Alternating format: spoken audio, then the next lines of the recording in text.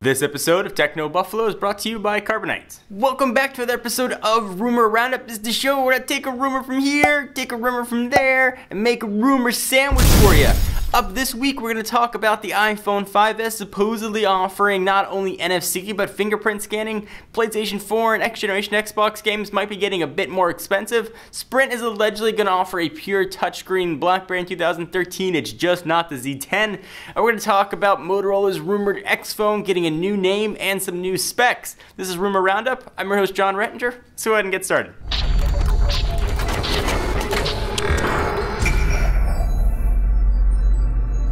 So let's begin with the iPhone 5s rumor. We are hearing that it's going to offer NFC and a fingerprint scanner. KGI Securities analyst Ming Chi Kuo said last week that Apple's iPhone 5s will pack a fingerprint scanner directly under the home button for added security, and now a fresh rumor from China is totally backing up that claim. I'm a bit dubious though about the home button having a fingerprint scanner. I can imagine that's going to cause crazy software delays, or what if you're wearing gloves, or what if your fingers are greasy or dirty, or all kinds of other things. I can see it being something you enable or not enable. Um, maybe just have some sort of face tracking might be a good way too, but uh, we should see this possibly relatively soon. Uh, China Times backing up those claims, saying that Apple will deploy fingerprint scanner technology provided by Authentec, a company that provides module sensors and other hardware security associated with fingerprint scanning. The news outlet also claims that Apple is going to add NFC support for mobile wallet capabilities. Unfortunately, mobile wallets haven't been too successful in the United States so far. Google Wallet relied on NFC, but Sprint was the only carrier to support it. Also, AT&T, T-Mobile, and Verizon are working on a totally separate initiative called ISIS that is currently still in testing in just a few US markets. Still though, NFC can be pretty useful for sharing data between iOS devices like photos, videos, and music, and it's technology that's already widely used by Android and Windows Phone 8 smartphones, so it'd be kind of cool to see something standardized, although it's not as quick as you might believe. Uh, NFC really isn't standardized yet though across all devices, so it'll be interesting to see if Apple comes in with straight NFC or maybe some weird type of Apple proprietary technology. The rumors though are just that. Hopefully we'll see in a few months when Apple unveils the iPhone 5S. What do you guys think? Fingerprint scanner? You want that? Or do you want NFC? What's more important to you? What do you most want the iPhone 5S to have? For me, I want a redesigned iOS. They can take their fingerprint scanner, they can take their NFC and keep it. I just want a fresh new OS. Love to hear your thoughts. Leave your comments down below. Alright, so let's go from phones on over to gaming. Rumor has it that the PlayStation 4 and next Xbox 360 console games are going to cost 70 smackaroos. Industry analyst Michael Pachter held a presentation at the recent South by Southwest gaming conference. Geoff Keighley, who was reporting there for GameTrailers.com, was live tweeting the lecture. Keighley reports that Pachter put out a prediction regarding the price of games for next generation. Here's what Keighley's tweet was. He said at South by Southwest panel, at Michael Pachter says PS4 and next Xbox games likely will cost $70, about $10 more in the current gen. So granted, before you get all worried, this is pure conjecture on Pachter's part. I'm not totally convinced though it's a legitimate stance either. 59, 99 or about 60 bucks seems to be the sweet spot for selling games. It's worked well for this generation, and I don't see either Sony or Microsoft making the first move to raise the prices. If 60 bucks wasn't working, it would have changed over the course of the past seven plus years of the console lifecycle. It didn't. Clearly. It's worth mentioning though, prediction does hold true. Nintendo will once again offer the cheapest option for gaming software. The Wii's catalog generally sold for about 50 bucks and the Wii U's is typically listing at around $60. So we'll see. I'm hoping that $60 is already $10 more in generation before that.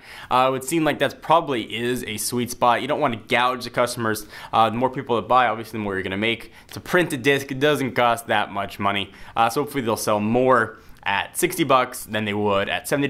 We'll keep our game prices at the same level. But more rumors that I want to know aside from gaming prices is what is the next Xbox going to have? Hopefully we're only a few weeks away uh, from finding out all that information. All right, so let's jump back to phones. Sprint will allegedly offer a pure touchscreen BlackBerry in 2013 just not the Z10 that's already out, which is kind of weird.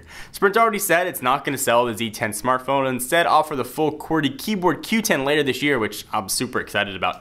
Uh, the Q10 looks like an awesome phone, but no one's had a chance to really play with it or touch it. Uh, we had a chance to see it at BlackBerry World, but they wouldn't let us use the screen or turn it on, so we really don't know how it's going to perform. Um, that doesn't necessarily mean though that Sprint's not going to provide a BlackBerry that offers a full screen touchscreen however. All Things D learned on Monday that Sprint will offer another device still unannounced by BlackBerry later this year with a full touchscreen and without a QWERTY keyboard. It's possible the phone's launch will serve as an exclusive because we can't imagine why they would simply hold off on the Z10, uh, which is already a pretty decent phone. Uh, but that's just our own speculation. Uh, the phone allegedly launch in the second half of the year, although All Things D could provide any insight whatsoever as to what sort of specs it's going to offer and how it will differentiate from the already on the market Z10.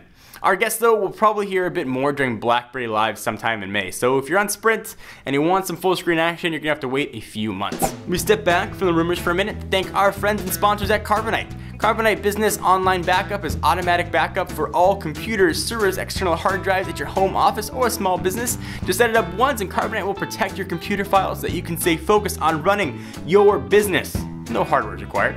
For a low flat annual fee, Carbonite keeps your business protected no matter how many computers you have or where they're located. Start your free trial, no credit card required, at carbonite.com and enter offer code TECHNO today and you'll get two free months if you decide to buy. Again, it's carbonite.com, offer code TECHNO for two free months. Now back to the rumors. Alright, so let's stick with phones and talk about the Motorola X Superphone is now reportedly being dubbed the Motorola NXT, or just Next, I guess. Motorola and Google are allegedly working on a secret project together to develop the Motorola X, a next generation superphone that will pack apparently features unlike any we've ever seen in any smartphone before, and specifically will target Apple and Samsung's efforts. If I had a nickel for every time somebody said, we'll have a smartphone unlike anything you've ever seen, I would be a very, very rich man. Uh, this X device, however, is now being reportedly called the NXT, probably pronounced just simply Next. Apparently, we can expect a 4.7 inch display, which we've seen, full HD resolution, which we've seen, 16 megapixel camera, we've seen pretty close, 5 megapixel front facing camera, so that's something new, uh, NVIDIA's new quad core Tegra 4i processor, that's new, and latest version of Android, which we're expecting to be unveiled during Google's annual developers conference coming up in May. We've seen most of the hardware in other phones before, save for the 5 megapixel front facing camera and Tegra T4i processor. So we're guessing the real groundbreaking work is going to be done on the software services side of things. There's no surprise there, especially as smartphone makers begin to rely more and more on features instead of raw hardware specs. Uh, the phone will be the first that's built entirely by Google and Motorola, but we're not quite sure yet if this will be the next Nexus phone or if it'll be an entirely separate device from Motorola altogether. I'm thinking though, we're probably looking at the next Nexus and the first phone we're going to see launch with Key Lime Pie. Uh, so what do you guys think? You want to wait for the X phone? Do you want to pick up the Galaxy S4, the HTC One? Or you're just sick of waiting for phones, you just want to freaking buy something? Leave your comments down below. So thank you guys for watching another episode of Rumor Roundup. I'm your host, John Branch. I hope you enjoyed. We are rounding up rumors for you every week, so be sure to check back and check out technobuffalo.com for latest and greatest tech news. I'll see you guys next video.